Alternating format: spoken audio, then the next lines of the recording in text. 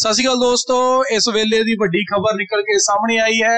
Punjab school education board ਨੇ ਇੱਕ ਨਵਾਂ ਐਲਾਨ ਕੀਤਾ ਹੈ, ਜਿਸ ਨਾਲ ਵਿਦਿਆਰਥੀਆਂ ਨੂੰ ਕਾਫੀ ਕੁਝ ਤਬਦੀਲੀਆਂ ਹੋਣ ਆਉਣ ਵਾਲੇ ਸਮੇਂ ਦੇ ਵਿੱਚ ਦੇਖਣ ਨੂੰ ਮਿਲਣਗੀਆਂ। ਆਓ ਦੋਸਤੋ, ਬਿਨਾਂ ਸਮਾਂ ਬਰਬਾਦ ਕਰਦੇ ਹੋਏ ਖਬਰ ਵੱਲ ਚੱਲਦੇ ਹਾਂ। ਦੋਸਤੋ, ਖਬਰ ਸ਼ੁਰੂ ਕਰਨ ਤੋਂ ਪਹਿਲਾਂ ਜੇਕਰ ਤੁਸੀਂ ਸਾਡੇ ਚੈਨਲ ਤੇ ਨਵੇਂ ਆਏ ਹੋ ਅਤੇ ਅਜੇ ਤੱਕ ਚੈਨਲ ਨੂੰ ਸਬਸਕ੍ਰਾਈਬ ਨਹੀਂ ਕੀਤਾ, ਤਾਂ ਜਰੂਰ ਕਰ ਲੈਣਾ। ਨਾਲ ਹੀ ਵੀਡੀਓ ਨੂੰ ਲਾਈਕ ਅਤੇ ਸ਼ੇਅਰ ਵੀ ਜਰੂਰ ਕਰ ਦੇਣਾ। ਦੋਸਤੋ, ਕਿਸੇ ਵੀ ਤਰ੍ਹਾਂ ਦਾ ਕੋਈ ਸਵਾਲ ਹੈ ਤੁਹਾਡੇ ਮਨ ਵਿੱਚ, ਤਾਂ ਕਮੈਂਟ ਕਰਕੇ ਤੁਸੀਂ ਸਾਨੂੰ ਪੁੱਛ ਸਕਦੇ ਹੋ। ਆਓ ਦੋਸਤੋ, ਵਧਦੇ ਹਾਂ ਖਬਰ ਵੱਲ। ਖਬਰ ਕੁਝ ਇਸ ਤਰ੍ਹਾਂ ਹੈ। ਵਿਦਿਆਰਥੀਆਂ ਲਈ ਅਹਿਮ ਖਬਰ, ਸਿੱਖਿਆ ਬੋਰਡ ਨੇ ਕੀਤੀਆਂ ਕੁਝ ਤਬਦੀਲੀਆਂ। ਪੰਜਾਬ ਸਕੂਲ ਸਿੱਖਿਆ ਬੋਰਡ ਨੇ ਚਾਲੂ ਵਿਦਿਅਕ ਵਰੇ ਦੌਰਾਨ ਵਿਸ਼ਿਆਂ ਦੇ ਸੁਮੇਲ ਨੂੰ ਲੈ ਕੇ ਕੁਝ ਤਬਦੀਲੀਆਂ ਕੀਤੀਆਂ ਹਨ। ਜਿਸ ਕਰਕੇ ਪਿਛਲੇ ਸਾਲ 11ਵੀਂ ਜਮਾਤ ਵਿੱਚ ਕੁਝ ਵਿਸ਼ੇਸ਼ ਵਿਸ਼ੇ ਪੜਨ ਵਾਲੇ ਵਿਦਿਆਰਥੀ ਸਿੱਖਿਆ ਬੋਰਡ ਦੇ ਇਸ ਫੈਸਲੇ ਨਾਲ ਸ਼ਸ਼ੋ ਪੰਜ ਵਿੱਚ ਪੈ ਗਏ ਸਨ। ਉਹਨਾਂ ਵਿਦਿਆਰਥੀਆਂ ਦੇ ਸੰਕਟ ਨੂੰ ਦੂਰ ਕਰਦੇ ਹੋਏ ਪੰਜਾਬ ਸਕੂਲ ਸਿੱਖਿਆ ਬੋਰਡ ਨੇ ਇਹ ਫੈਸਲਾ ਲਿਆ ਹੈ ਕਿ ਇਸ ਵਿਦਿਅਕ ਸਾਲ ਵਿੱਚ ਇਹਨਾਂ ਵਿਸ਼ੇਸ਼ ਵਿਸ਼ਿਆਂ ਵਾਲੇ ਵਿਦਿਆਰਥੀ ਉਹ ਵਿਸ਼ੇ ਇਕੱਠੇ ਪੜ੍ਹ ਸਕਣਗੇ। ਪੰਜਾਬ ਸਕੂਲ ਸਿੱਖਿਆ ਬੋਰਡ ਦੇ ਚੇਅਰਮੈਨ ਡਾਕਟਰ ਯੋਗਰਾਜ ਨੇ ਦੱਸਿਆ ਹੈ ਕਿ ਪਿਛਲੇ ਸਾਲ ਕਮਰਸ਼ੀਅਲ ਆਰਟਸ ਵਿੱਚ ਜਿਨ੍ਹਾਂ ਵਿਦਿਆਰਥੀਆਂ ਨੇ 11ਵੀਂ ਜਮਾਤ ਵਿੱਚ ਅਰਥ ਸ਼ਾਸਤਰ ਬਿਜ਼ਨਸ ਸਟੱਡੀ ਤੇ ਅਕਾਊਂਟੈਂਸੀ ਵਿਸ਼ੇ ਇਕੱਠੇ ਪੜ੍ਹੇ ਹਨ ਅਤੇ ਹੁਣ ਉਹਨਾਂ ਨੇ ਪਾਸ ਹੋਣ ਤੋਂ ਬਾਅਦ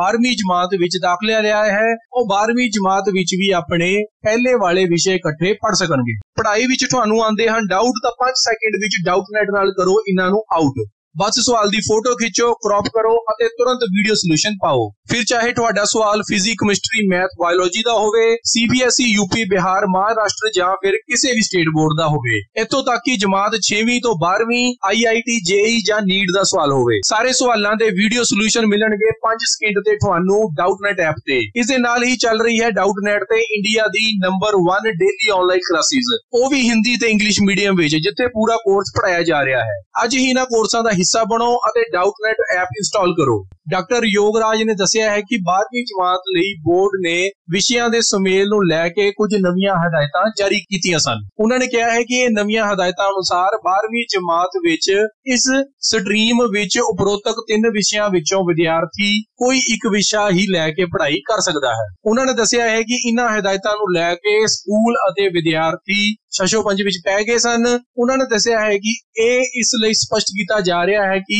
ਜਿਹੜੇ ਵਿਦਿਆਰਥੀ ਵਿਦਿਅਕ ਸਾਲ 2020-21 ਵਿੱਚ 11ਵੀਂ ਜਮਾਤ ਵਿੱਚ ਕਮਰਸ਼ੀਅਲ ਆਰਟਸ ਵਿੱਚ ਅਰਥ ਬਿਜ਼ਨਸ ਸਟੱਡੀ ਅਤੇ ਅਕਾਊਂਟੈਂਸੀ ਵਿਸ਼ੇ ਪੜ੍ਹ ਰਹੇ ਸਨ ਅਤੇ 11ਵੀਂ ਜਮਾਤ ਪਾਸ ਕਰ ਲਈ ਹੈ ਅਤੇ ਹੁਣ ਉਹ 12ਵੀਂ ਜਮਾਤ ਵਿੱਚ ਪ੍ਰਮੋਟ ਹੋ ਗਏ ਹਨ। ਉਹ 12ਵੀਂ ਜਮਾਤ ਵਿੱਚ ਵੀ ਇਹ ਤਿੰਨੋਂ ਵਿਸ਼ੇ ਇਕੱਠੇ ਰੱਖ ਸਕਦੇ ਹਨ। ਉਹਨਾਂ ਨੇ ਦੱਸਿਆ ਹੈ ਕਿ ਇਸ ਸੰਬੰਧੀ ਛੇਤੀ ਹੀ ਨਵੀਆਂ ਹਦਾਇਤਾਂ ਸਿੱਖਿਆ ਬੋਰਡ ਦੀ ਵੈਬਸਾਈਟ ਉੱਤੇ ਅਪਲੋਡ ਕੀਤੀਆਂ ਜਾ ਰਹੀਆਂ ਹਨ।